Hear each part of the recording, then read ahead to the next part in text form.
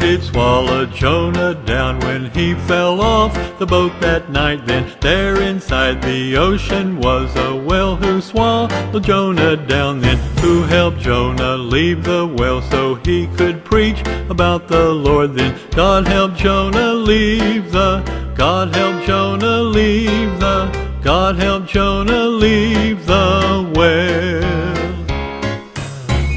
did Noah build to keep his loved ones from the drowning out there? He was told to build an ark that they could ride and float away there. Rain came down and lifted them, and they lived on and loved him more there. God help Noah leave the, God help Noah leave the, God help Noah leave the